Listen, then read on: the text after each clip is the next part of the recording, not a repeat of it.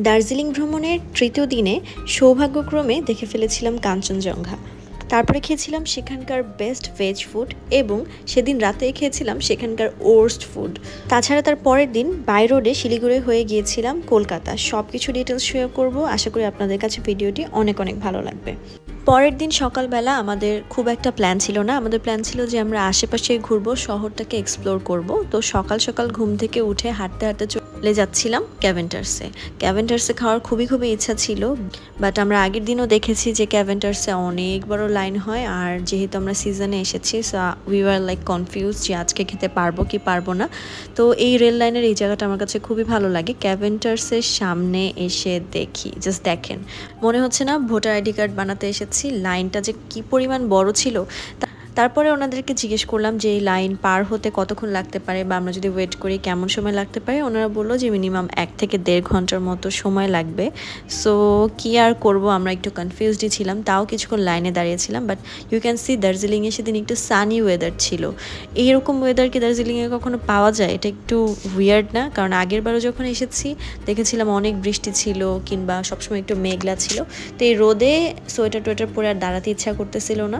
So হেঁটে হেঁটে চলে গেলাম হচ্ছে আমাদের সেই পছন্দের ক্লিনারিসে আর লাকিলি আমরা পেয়ে গিয়েছিলাম হচ্ছে বাইরের সাইডের সিটটা অ্যান্ড এখানকার পরিবেশটা খুব নাইসলি এনজয় করছিলাম। মজার কথা হচ্ছে এখান থেকে কাঞ্চনজঙ্ঘা দেখা যাচ্ছিল। সো আমরা তো আর জানি না যেরকম দেখা যেতে পারে, আমরা টাইগার হিলেও যাই যাইনি।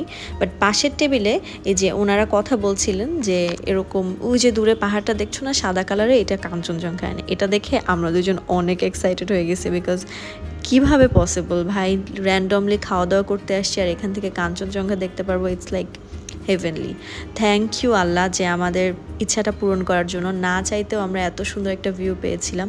আলহামদুলিল্লাহ, আমরা খুবই খুবই এক্সাইটেড ছিলাম অ্যান্ড খুশি ছিলাম এটা দেখে।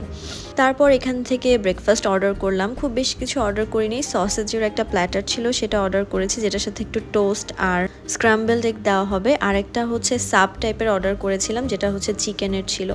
অনেস্টলি স্পিকিং আমরা একটু কনফিউজ ছিলাম যে এটা হালাল হবে কি না বাট ওনারা বলল এটা চিকেনের সো এই জন্য আমরা ট্রাই করেছি and it was so so yum এই ব্রেডটার সাথে, তারপরে এগটার সাথে অ্যাড করে খেতে খুবই খুবই মজা লাগছিল।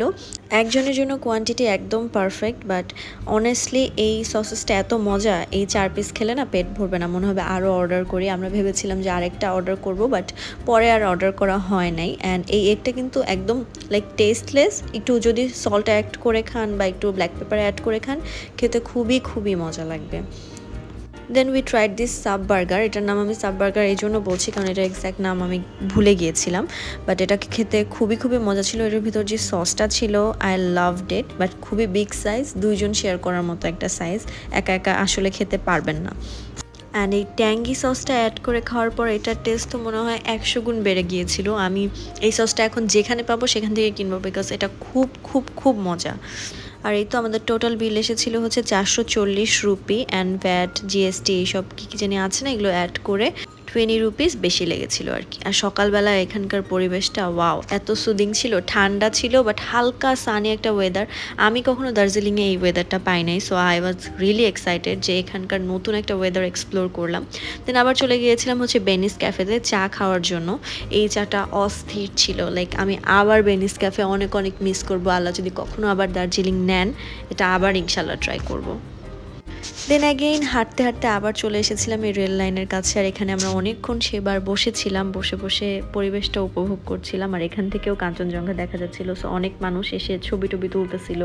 দেন ফাস্ট ফরওয়ার্ড রুমে চলে আসলাম। রুমে এসে মনে হলো যে আবার একটু কফি খাই। সো এখানে যা যা ছিল এটা দিয়ে মিক্সড করে একটু কফি বানিয়ে নিলাম।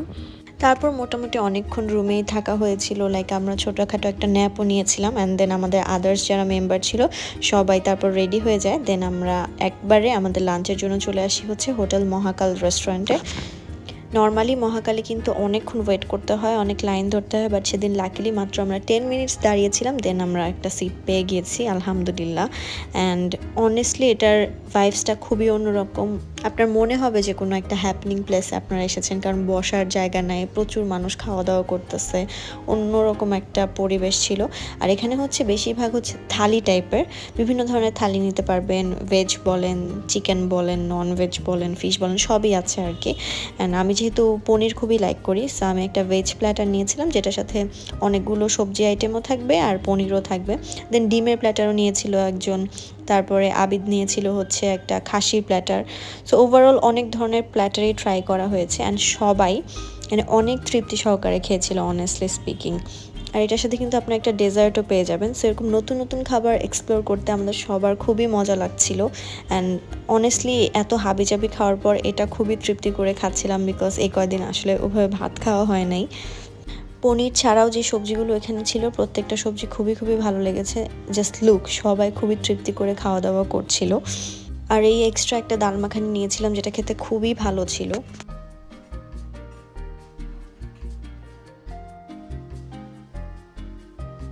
অ্যান্ড আমরা এক্সট্রা আরেকটা পনিরও নিয়েছিলাম, মটর পনির যেটাকে বলে, কারণ আমার প্লেটেরটা সবাই টেস্ট করে, সবার খুবই খুবই ভালো লাগছে।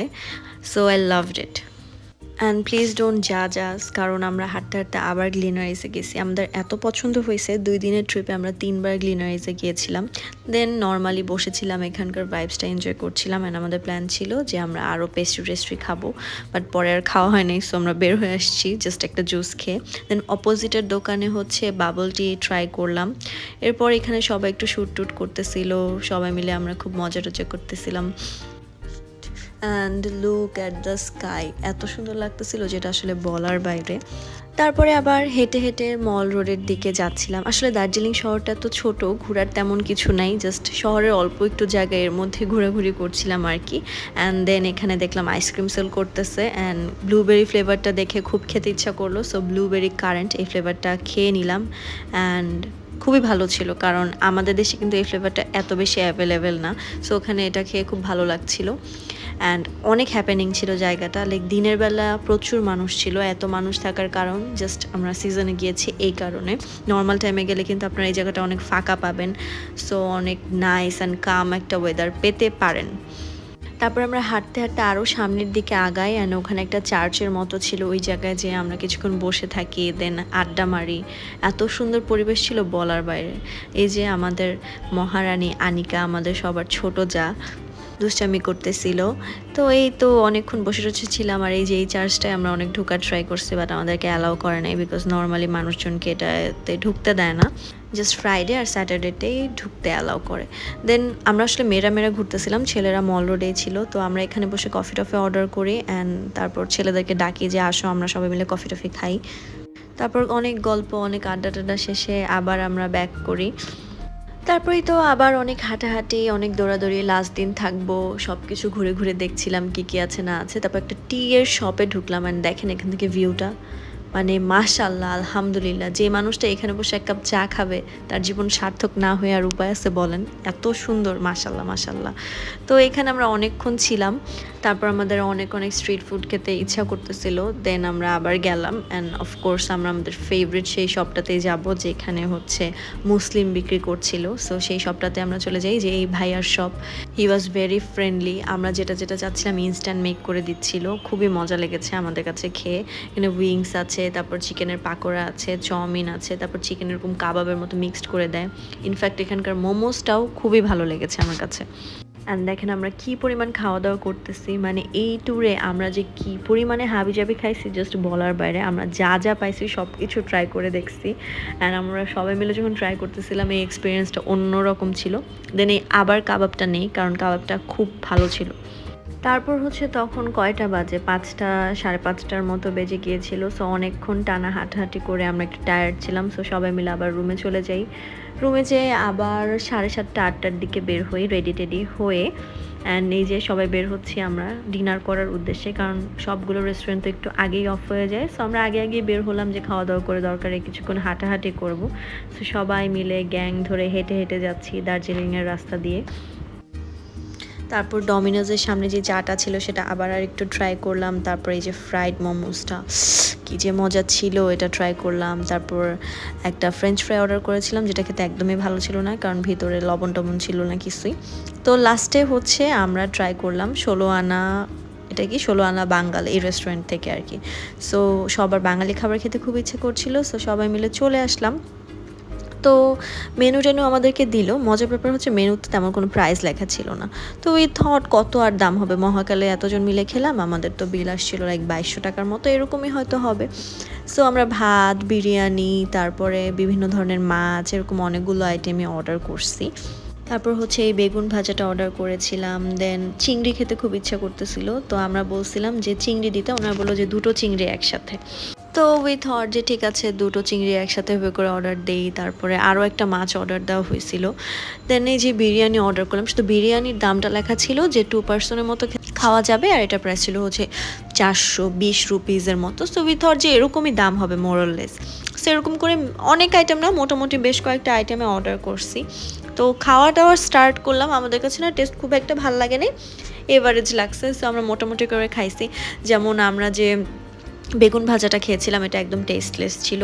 তারপরে আমি হচ্ছে চিংড়ি খেয়েছিলাম, কারণ বাকি মাছ টাছ আমি খুব একটা লাইক করি না। সো চিংড়ি আমার কাছে অত ভালো লাগে নাই বাট খাওয়ার দরকার খাইছি অ্যান্ড দেন। দেখেন বিল কত আসছে। ভাই রে ভাই। ওনারা লিটারেলি চিংড়ি পার পিস রেখেছে পাঁচশো রুপি করে। এক পিস চিংড়ি যদি পাঁচশো রুপি হয় সো ইউ ক্যান ইমাজিন কী পরিমাণ দাম। দেন চিতলের পেটি পার পিস ছয়শো পঁচিশ রুপি মানে কিছু বলার নাই। পুরা আমাদের এক্সপিরিয়েন্সটাই নষ্ট হয়ে যায়। কারণ আমরা যদি জানতাম যে বাঙালি খাবারের দাম এত বেশি নেবে, তাহলে আমরা ডেফিনেটলি এখান থেকে অর্ডার করলাম না। Because it was a budget tour আমরা সবাই মিলে বাই রোডে আসছি, এত টাকা দিয়ে এত পচা খাবার খাওয়ার জন্য আসি নাই সো আমরা সবাই একটু স্যাড ছিলাম যে এত দাম নিচ্ছে এত বৃষ্টি খাবার। তো স্যাড হয়ে হাঁটতে হাঁটতে আমরা হচ্ছে চলে যাই আমাদের হোটেলের দিকে। অ্যান্ড যেই আমাদের সব কিছু গোছানোর দরকার ছিল বিকজ সকাল সকাল নয়টার দিকে আমরা বের হয়ে যাব আমাদের কলকাতার উদ্দেশ্যে। কলকাতা না মানে ফার্স্টে শিলিগুড়ি দেন কলকাতার উদ্দেশ্যে। তারপরে এবারের মতো last good morning from Darjeeling সকালবেলা উঠে ওরা যে গাড়ি ঠিক করে ফেলে দেন হচ্ছে আমরা সবাই গাড়িতে উঠে আস্তে আস্তে করে চলে যাই। সকালবেলা বেশ ভালোই জ্যাম লেগে গিয়েছিল অ্যান্ড সেদিনও ওয়েদারটা মোটামুটি বেশ সানি ছিল and we are like shocked যে এত সানি ওয়েদার কীভাবে দার্জিলিংয়ে আমরা তো শুনছি যে প্রচুর বৃষ্টি হয়। তারপরে যেতে বেশিক্ষণ সময় লাগে নেই, তিন সাড়ে তিন ঘণ্টার মতো সময় লাগছে। না, আরেকটু বেশি লাগছে। আই গেস আমরা একটা বাজে পৌঁছেছি শিলিগুড়িতে। দার্জিলিং থেকে শিলিগুড়ির পথটা তো খুব সুন্দর ছিল। এটা আমরা মিস করতে করতে যাচ্ছিলাম যে আর কবে আসব, এরকম একটা ফিলিং নিয়ে যাচ্ছিলাম। বাট শিলিগুড়ি যাওয়ার পর এক্সপিরিয়েন্স কান্ট এক্সপ্লেন মানে বলার বাইরে খুবই ওর্স্ট এক্সপিরিয়েন্স ছিল। আসলে আপনাদের সাথে একটু একটু করে শেয়ার করব। তার আগে আমরা বলি যে আমরা এরকম একটা ধাবাতে নেমেছিলাম। অ্যান্ড এই ধাবা থেকে ভিউটা জাস্ট অসাম কি আর বলব? খুবই খুবই সুন্দর একটা ভিউ ছিল। ধাবার বারান্দার থেকে আসলে ভিউটা এখানকার। তো সকালে তো নাস্তা করা হয় না সো আমরা সবাই অনেক হাংরি ছিলাম। তো মরিয়ম যেটা করল যে ও ভাতই অর্ডার করছে, কারণ কালকে খেয়ে ওর পুরো মেজাজটা খারাপ লাগছে। অ্যান্ড দেন আমরা মোমোজ অর্ডার করছি, ম্যাগি অর্ডার করছি।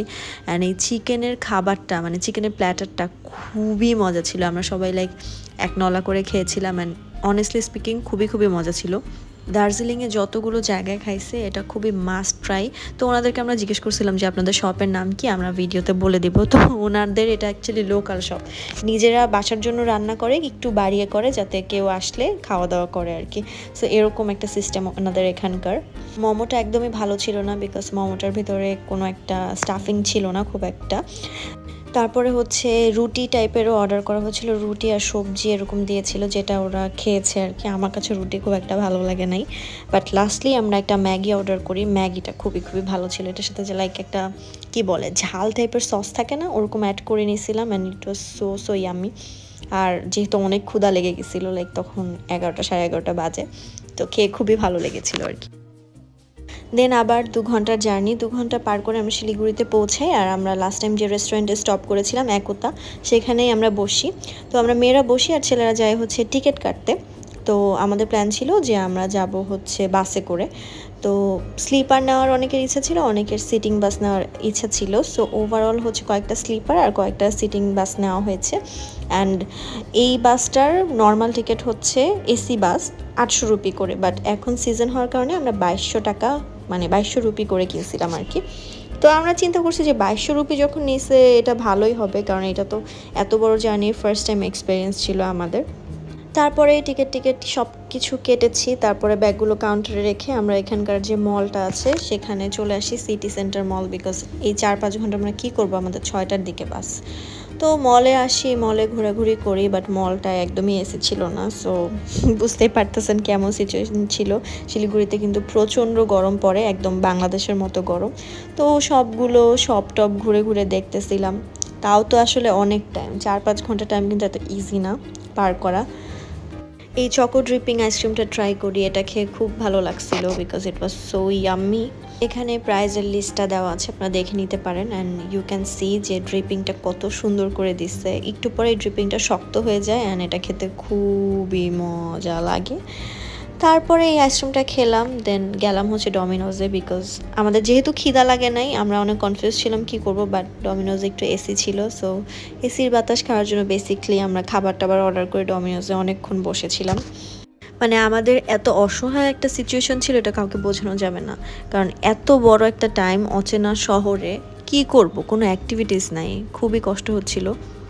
তারপরে এই যে মাসাজ চেয়ারে সবাই মিলে একটু মাসাজ টাসাজ নিলাম আমরা।